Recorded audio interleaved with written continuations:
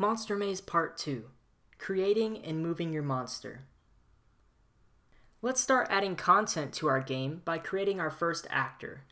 Inside of the Actors tab in the library, I'm going to click the plus icon to the right of the search bar to create our first actor. Inside of GameSalad, everything that you see is comprised of an actor.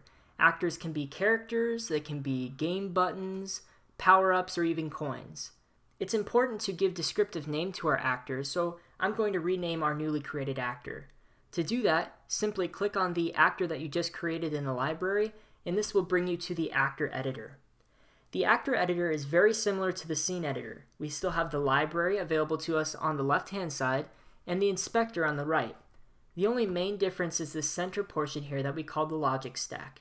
This is where we'll be adding behaviors to our actors to tell them what to do. I'm going to go ahead and rename my actor. I can do this in two ways. I can either double click the new actor name in the top of the logic stack and I'll rename this actor monster. Or inside of the inspector with the actor tab selected, I can find the name attribute and change the name that way. What I want to do now is apply an image to our actor. Inside of the images tab, I'm going to find the Monster Red 1 image and click and drag this to the top right of the inspector on top of that white box. When I release my mouse button, the image is applied to the actor. Now, I'd like to change the size so that way it's more proportional to our screen. Inside of the inspector with the actor tab selected, I'm going to find the size attributes.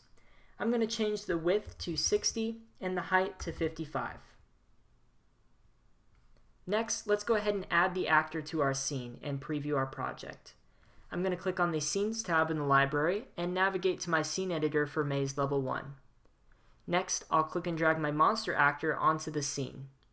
If I'd rather delete an actor on the scene, I can click an actor and hit the delete key on my keyboard or the backspace key on my keyboard. But I'm going to keep the monster on our scene for right now. Let's go ahead and preview our project by clicking the Preview Game button in the top right of the tool. This will open a new tab and preview your project. Notice that nothing pops up, and this is because the current scene that is being previewed is actually the home screen, and that's not the scene we've been editing. We've been editing Maze Level 1, so on the right hand side make sure Maze Level 1 is active. And here you go, you can see our scene. Our actor isn't actually doing anything right now, and that's because we haven't told it to do anything.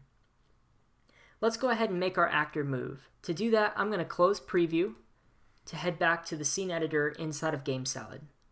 Next, I want to add some logic to our monster actor, so I'm going to click on the Actors tab in the library and then click on our monster actor. Behaviors are actions we can add to actors to control how they behave. Inside of the Behaviors tab in the library, we have a list of behaviors built in for us inside of GameSalad. There are different types. There's action behaviors, behaviors, and groups. Inside of the behaviors category, I'm going to define our move behavior and drag it into the logic stack. I'm going to leave all of the values set to their default and preview the game. Again, make sure maze level 1 is active, and when you do that, you can see our monster moving to the right across the screen. If I close preview and head back to the actor editor for the monster, the move behavior isn't restricted in any way, which is why the monster is just moving to the right. I'm going to go ahead and delete this behavior and let's go ahead and set it up so our actor can move with the left, right, up, and down arrow keys on our keyboard. In order to do that, we're going to need something called a rule. Rules inside of GameSalad allow us to trigger behaviors based upon certain conditions. To create a rule, I can either click the Add Rule button in the top right of the logic stack, or inside of the Behaviors tab, I can scroll all the way down and open up my groups category and add a rule that way. As you can see, rules have a couple of different parts. We have the condition of the rule, the then section of the rule, and the else section of the rule. The then section of the rule will trigger behaviors inside of there only when the condition for the rule is met. On the flip side, the else section of the rule contains behaviors that will be activated when the condition for the rule is not met. Let's go ahead and set up our first rule. I'm going to make this work for our right arrow key, so inside of the condition I'm going to change this to read this actor receives event keyboard key, and then I'm going to put my mouse cursor inside of the text field and hit the right arrow key on my keyboard. GameSalad will automatically add the right keyboard key into the field, and there we go, we have our first condition set up. Inside of the then section, I'm going to drag the move behavior and plop it into the rule. You can set the direction and the speed for the rule using the appropriate fields. The direction you can think of as angles in a circle. Zero degrees would be towards the right, so that's good. We don't need to change anything. But I'm going to change the speed of the actor from 300 to 200. Next, before we preview, I'm going to rename this rule so we know which rule we're looking at. I'm going to double click on the word rule and name this move right. Let's go ahead and preview our project.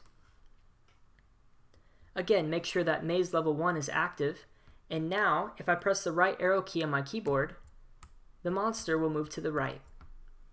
Let's go ahead and set this up for the other arrow keys as well. Instead of creating new rules and adding more behaviors, I can go ahead and copy rules and just change the conditions. I'm going to collapse this rule to give us more screen real estate by clicking the collapse button at the far right of the rule. I'm going to select the rule by clicking on it and you'll know that it's selected when you see that blue glow around it. Now I'll copy it by clicking Control C on my keyboard or Command C on my keyboard and pasting it into the logic stack by Control V or Command V. Here's our duplicated rule. I want to go ahead and rename this. Let's call this one move left. And inside of the condition, I need to make sure I change the value to left. I did that by just clicking the left arrow key on my keyboard. Don't forget to change the direction inside of our move behavior. If you're thinking of angles in a circle, left would be 180 degrees. Let's go ahead and collapse this rule, copy and paste it, and I'll rename this one move up. Inside of the condition field, I'm going to change this to up, and the direction inside of the move behavior is going to be 90 degrees. One last time, I'm going to copy and paste and rename this move down. I'll change the condition to down and the direction in the move behavior to 270 degrees. I'll collapse all of these, and as you can see, there's a lot of rules inside of our logic stack. Let's go ahead and create a group inside of the Behaviors tab, I'm going to drag the group into the logic stack. Groups allow us to organize specific pieces of logic for better organization. I'm going to click each rule and hold down Shift on my keyboard to select all of them and click and drag them into the group.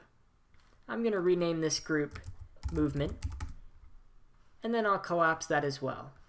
Let's go ahead and preview the game and see how that works. I can now use my right left, up, and down arrow keys to move my monster throughout my scene. Thank you for watching part 2. We'll see you in part 3.